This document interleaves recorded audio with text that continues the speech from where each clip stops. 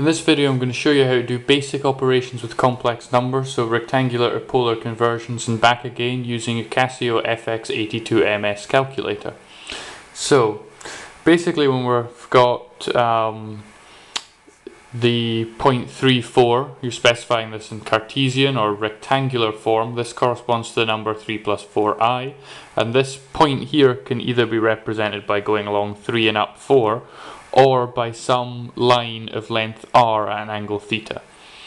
And so if we want to convert 3 plus 4i into um, polar form, we need to find this r and this theta. So what we want to put into the calculator is pol, which is a polar function, 3, 4. And this is very simple to do. So we just access this polar button, which is here. So it gives pol in the open bracket.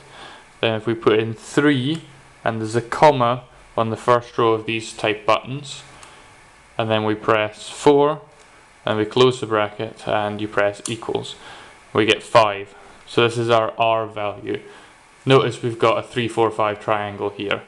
So if that's 3 and that's 4 that's obviously going to be 5 3 squared plus 4 squared square rooted is of course 5 um, the calculator stores the theta value in this memory location F. See these red buttons, so to access that we're pressing RCL, which is to recall, and then if we go to look at all these red numbers A, B, C, D, E, and we want F at the end, that gives us 53.1 degrees.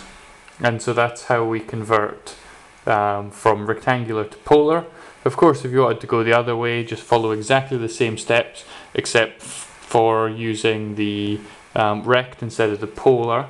So that's shift, rect. So say we put in what we had before, 5, then put in a comma, and then uh, 53.1, close that, and then if we press equals, it gives us 3 point something, it's the rounding on this 53, and then if we press recall and then F, we get roughly 4. So that's how you can do some basic operations with complex numbers. Hopefully this is helpful to you and thank you very much.